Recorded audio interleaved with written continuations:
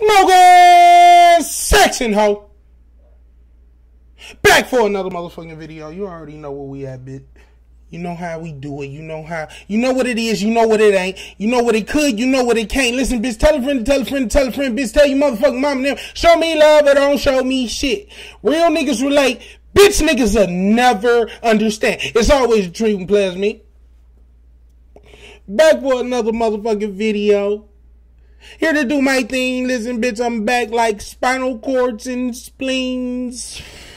Blowing on some motherfucking Wookiees. Let me know what the fuck you smoking on in the motherfucking comment section. Listen, welcome to the smoking section where we know gas. Listen, nigga, nigga, I'm, that, that that shit is greatness. we about to dive right into this motherfucking video today. I ain't gonna take up too much of your motherfucking time in the beginning of the video. Listen, I know I get the motherfucking spilling and giving y'all this spillage and popping shit like nobody else could. It's me, bitch. And I love me some me. Bitch, I'm the greatest. We got a we got a story about T Pain and Usher. Listen, Usher told T Pain some whole shit, and it's been all over my motherfucking timeline today.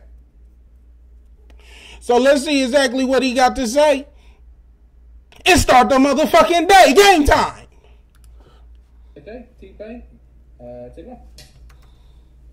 I heard a story about you and Usher on an airplane.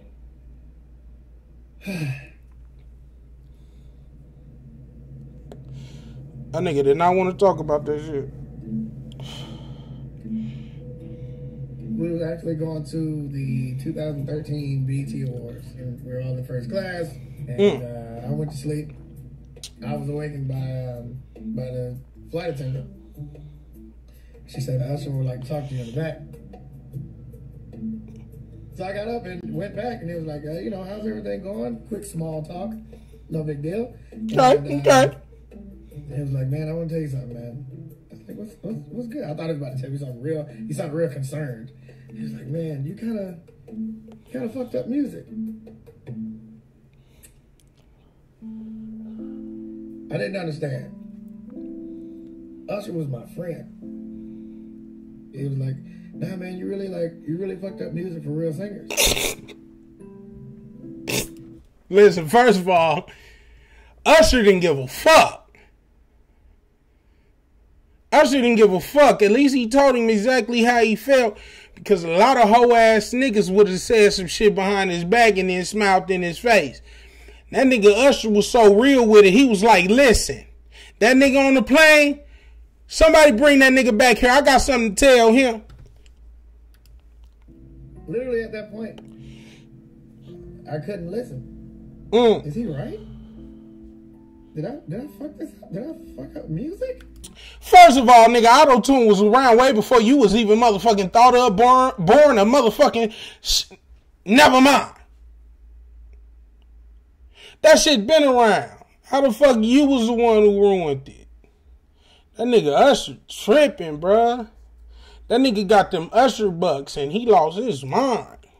And I and that is the very moment. And I, don't- I don't even think I, I realized this for a long time. That's the very moment that started like a four year depression for me. Mm. So you let that nigga spark your depression? First of all, listen.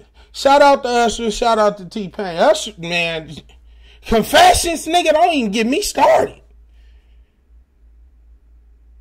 What he did, in my opinion, you know I'm gonna let you know how the fuck I think. Let me know what you think in the motherfucking comments. Usher,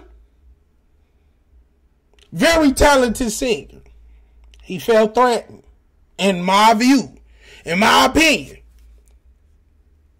He felt threatened by a motherfucker coming coming around heavy auto tune and charting higher than him. I don't know if that's true, but most likely it is. You know, do your Googles, nigga. They felt threatened by this shit that was heavy auto tune. And you and this motherfucker in here really singing. Throwing your voice out so you can't sing for days and shit. And this nigga come in here with auto tune and he could he could replicate this shit a billion times over. You was threatened. So you told that nigga how you felt. I ain't gonna was some hating shit. Because a lot of you young niggas think all criticism is hating shit. You know what? I am gonna say that was some hating shit. I ain't shit yet. he shouldn't have said that shit to him. But he should have said this shit to me. He a real nigga for letting him know how you feel. But nigga, I don't give a fuck how you feel. Ain't no way in here I'm gonna let you, whatever the fuck you telling me in the comments, what you done told me to my face that's negative or what I don't believe to lead me into no motherfucking depression. Listen, fuck you niggas and bitches. I'll beat you the fuck up. Listen, nigga. I give you more than a bump on your lip, nigga. That's what I would have told him.